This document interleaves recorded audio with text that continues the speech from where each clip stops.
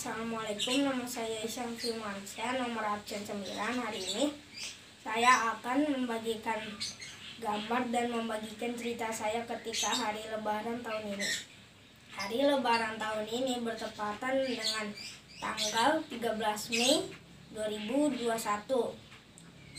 Dan hari lebaran tahun ini saya bertepatan dengan hari itu saya ulang tahun dan saya senang sekali karena saya bisa ulang tahun pada hari lebaran kali itu. Keesokan harinya saya bangun jam 5 pagi untuk bersiap-siap sholat id. Jam 6 paginya saya siap-siap ke masjid bersama keluarga saya. Sampai di masjid tidak lupa saya mengikuti protokol kesehatan. Memakai masker dan mencuci tangan, menjaga jarak. Setelah itu, saya pulang bermaaf-maafan dengan keluarga saya. Setelah bermaaf-maafan, saya makan-makan di rumah. Setelah makan-makan, saya ke rumah kakek dan nenek saya. Terima kasih.